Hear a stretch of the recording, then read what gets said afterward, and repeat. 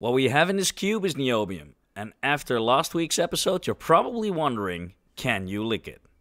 So here we will use this other version of the periodic table again, which will tell us whether an element can be licked or not. We got four options. Sure, go for it. Maybe not the best idea. Please don't do that, and see you on the other side.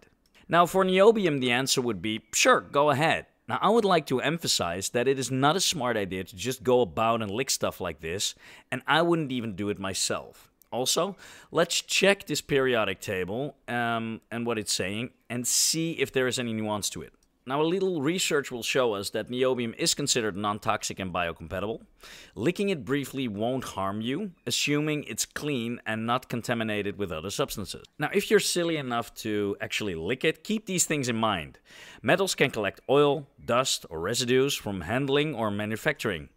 Unless it's been cleaned thoroughly, you don't know what's on the surface. Now, some niobium samples, like this one in the cube, have jagged or sharp pieces that could cut your tongue or lips. Now, even though niobium is safe, the material isn't produced or cleaned to food contact standards, unless explicit made for that purpose, like medical grade parts. So, at all times, be careful, and again, I would not recommend to actually do this.